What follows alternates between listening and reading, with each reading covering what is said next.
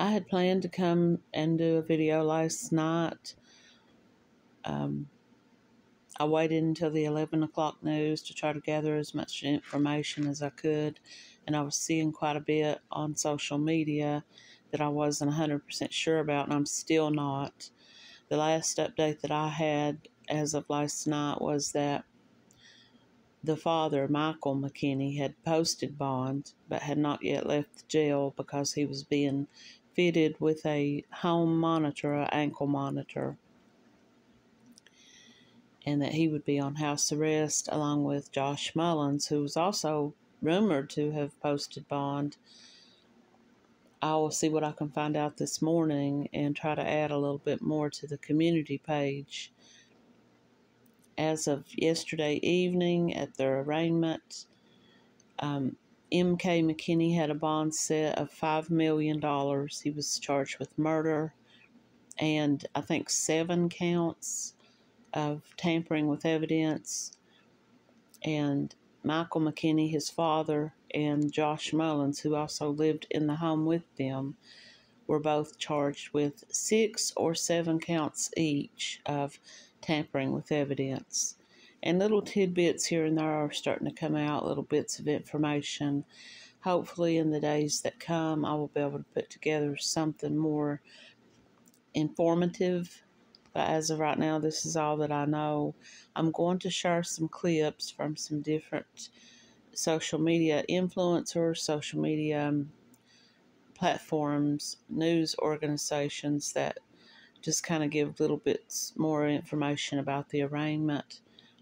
And as of right now, this is really all I can offer is just this update that they have been arrested and charged. And I think their next court date is October the 24th.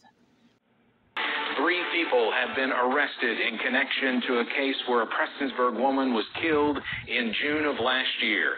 56 year old Dr. Michael McKinney, a well known dentist, as well as his son, 24 year old Michael McKinney, and 23 year old Josh Mullins, were taken to the Floyd County Detention Center today. WYG's Buddy Forbes is live in Prestonsburg with the very latest. Buddy. That's right, Steve. Three arrests have been made in the connection to the death of Amber Spradlin. Spradlin was murdered June 18, 2023 in the Arkansas Creek Road community. Spradlin's family has been waiting for an arrest to be made for more than one year, saying this has been the hardest thing they have ever experienced.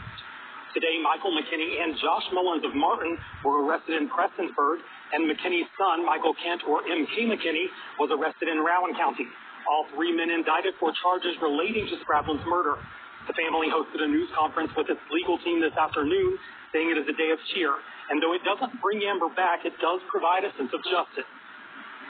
These people have been running around for 13 months like they didn't do a single thing, and uh, now they can't deny it. They're, they have to face up to it, and everybody in the community knows now, too. Now, M.K. McKinney is charged with murder and seven counts of conspiracy to tamper with evidence. The other two men are each charged with seven counts of that same conspiracy to tamper with, with evidence. The arraignment is expected to take place right here tomorrow in Floyd County. Buddy Forbes, WYMT Mountain News. We said last year when we had that press conference that we weren't going to let this be swept underneath the carpet somewhere, and it, it was swept under the carpet. I'm going to turn most of this over to Debbie in a minute, but I just want to tell you all that there's 25,000 strong justice hope this isn't the end of it because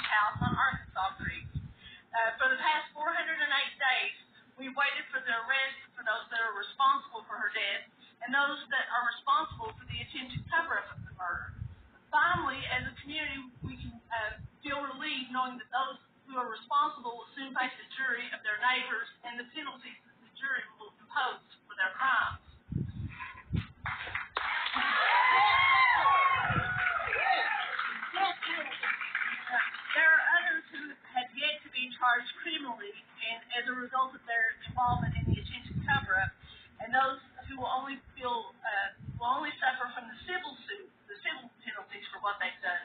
That each of them need to know that they will have to live with what they did to put into motion the event which resulted in Amber's death. Um, I want everyone to know that while they've been criticized heavily, Commonwealth Attorney Brent Turner, the Kentucky State Police, particularly Detective Justin Wireman, and the others that were involved with the investigation, they have been amazing. Uh, they uh, were responsible for the charges which were returned by the Floyd County Grand Jury today. Um, and they have worked tirelessly, hours and hours, putting all of this together, and they've done a great job.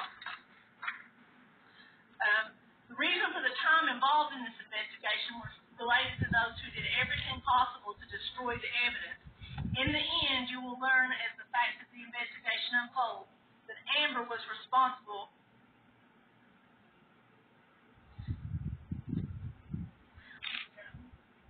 for the final clue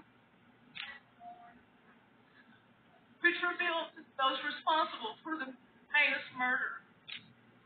What is most revealing about Amber's death is that she brought together more than 25,000 people from Floyd County across the globe.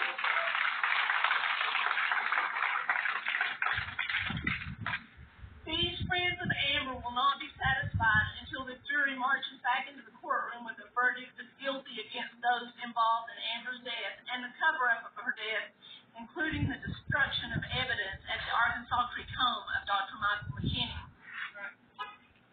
I would be remiss if I did not take time to point out those responsible for setting the events in motion, events which led to the death of Amber on June 18, 2023. Most troubling is the arrogance of those who chose to move the 911 dispatch center from the Kentucky State Police Post at Pikeville to Prestonsburg at a time when the 911 dispatch center was unprepared to protect the citizens of Floyd County. While each of you involved in removing the safety of the 911 dispatch center from the Kentucky State Police Post at Prestonsburg, each of you should know that while you might not have been at Arkansas Creek on that fateful night, you have Amber's blood on your hands. The Floyd County Courthouse where Dr. Mike McKinney, his son MK, and someone who has been characterized as Dr. McKinney's adopted son, Josh Mullins, they've all been arraigned on charges related to the brutal murder of Amber Spradlin in Dr. Mike McKinney's home. 409 days ago. Not guilty pleas were entered on behalf of all three defendants, and their next court date was set for October 24th. The judge set a bond for all three defendants. MK, Dr. McKinney's son, who was actually charged with the murder, along with seven counts of complicity to tampering with physical evidence, MK's bond was set at $5 million full cash. Now, additional condition of home incarceration, meaning if MK and his people are able to come up with $5 million liquid cash to get him out of jail, he's still going to have to be on home incarceration. The same goes for Dr. McKinney and Josh Mullins as well. Dr. McKinney's bond was set at $250,000 full cash. Josh Mullins' bond was set at $100,000 full cash. Once again, the judge did not say it on the record, but my sources tell me that both Dr. Mike McKinney and Josh Mullins will have the added bond condition of home incarceration in the event they are able to post those substantial cash bonds. It is my understanding that Dr. McKinney's bond has already been posted.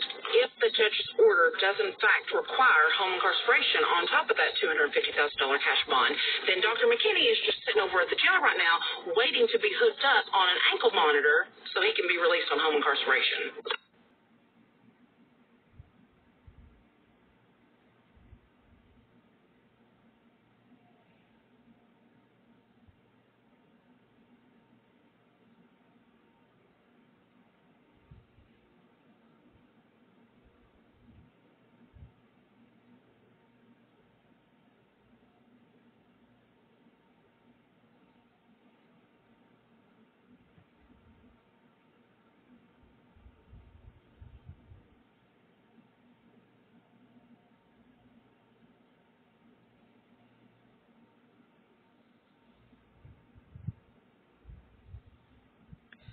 All three are charged for allegedly removing, concealing, or destroying the handle from the knife used. The third is accused of stabbing Amber repeatedly, resulting in her death. His father, Michael Kim II, and Josh Mullins are said to have helped him clean up the crime scene and destroy evidence. They're all charged with tampering with evidence and concealing or destroying the handle of the knife used, clothing McKinney III wore, a surveillance camera, and a digital video recorder. That's all according to the indictment. Our 13 News reporter Lane Ball has been on the case since the very beginning. He was in court with the suspects today. He joins us tonight from Prestonsburg. Lane, what happened in the courtroom today? Well, Amanda, Michael McKinney the third, Michael McKinney the second, and Josh Mullins all appeared to be fairly calm as they came into Floyd County Circuit Court earlier today. Now, there was Michael McKinney III. He appeared first, and the judge set his bond at $5 million cash. His father, McKinney second, appeared after him, and his bond was set at $250,000. Mullins' bond was the lowest at $100,000. As bond is posted, all three men will have to be on home confinement, and they must hand over their passports to ensure they don't leave the area before their next court appearance. Now, McKinney II, McKinney III, and Mullins were arrested Tuesday afternoon following grand jury indictments in the murder case. McKinney III is facing murder charges after investigators say he killed Spradlin with a knife inside a home along Arkansas Creek Road in Martin. He, his father McKinney II, and Mullins are also facing charges of tampering with evidence at the crime scene. Now, a crowd watches the arraignments unfold today, including Spradlin's family members who have been waiting for this day for a long time.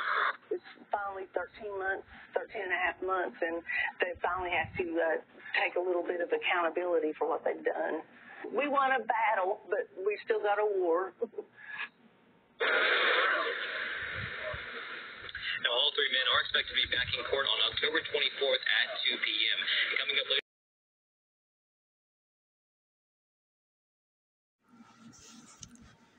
One thing about all this that has kind of caught my attention, and I'm sure I'm not the only one, was that when Amber Spradlin was murdered and her body was taken to Frankfort for an autopsy, they said that the knife blade was broken off inside of her head.